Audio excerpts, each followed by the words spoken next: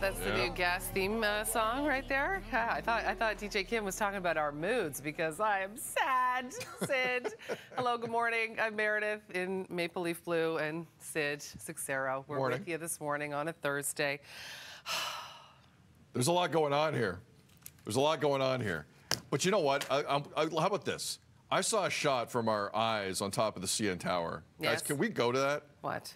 There's something mesmerizing about this. No, even this. it's sad too. It's- It's, it's moody. It is. It is fitting. You're right. It is fitting. But it, Yeah. it, it, it. I did look at it and go, "Wow, that is unique. That is unique to this city on some mornings." Yes, it's Uh, true. You're not wrong. Very Sid. unique morning. Do you want to start with the Leafs or the gas prices? Where do you want to start? Well. I know it's just sad all around. I well, I mean the gas prices. I, I'll just yeah. I and the continuation of it potentially even maybe going up, going up, and then going until June or July.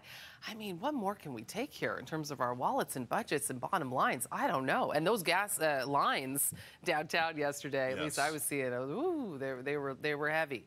But you know, you're only going to get one tank out of it before it goes up like that. So I don't know what we're going to do, Sid. We might as well have like a shot of that in a small box, bottom right of our screen for the rest of the show, just to see where it goes from here. Because Yeah. I mean, because you have no idea. That was that was a shocking jump yesterday. There's Mm-hmm. no other way to describe it. And I mean, I like my brain normally goes to past the the, the pocketbook implications of all of this for people watching the show and us.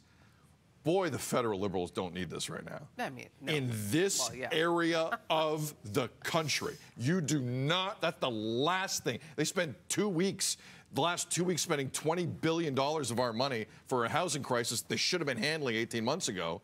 And now this is the headline coming off that budget. It's, this is not going well for them. Yeah, day Not after, yeah, well. not so well. No. Uh, it- it's just, it's the jump. You know, I understand things go up. I mean, we all understand that. We're in inflation nation right now. But uh, that big of a jump overnight is, is just, I mean, it feels irresponsible or something. Some, what's happening?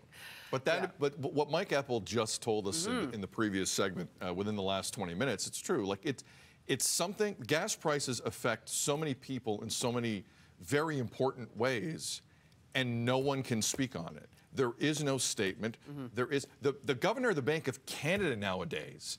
Is, is at least talking to folks about the interest rates in Tiff Macklem and giving us some type of idea of where this could go this is this is just the great mystery of our time, considering that the markets aren't exactly high and it is what it is. But I, I we do need someone to speak on this at some point. I think because it's too important. Mm-hmm. Because I, I people are just left in the dark, and it's not fair to anyone.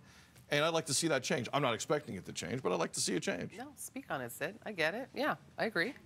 Um, We, we, we'll, we're going to talk Leafs coming up Okay, at we are. 7:20. Okay, well, I'll save it. Well, you know Save the, save the tissues. Save the tissues tissues yet. for a secondary segment. People are like, what is she? Is it the pollen No. report? What's wrong with Meredith? yeah. Pollen report. Yeah, we're all feeling a certain way. It's a good morning, Mayor. Morning, good to see you. Good to see you. It's 7 o'clock. You're watching BT.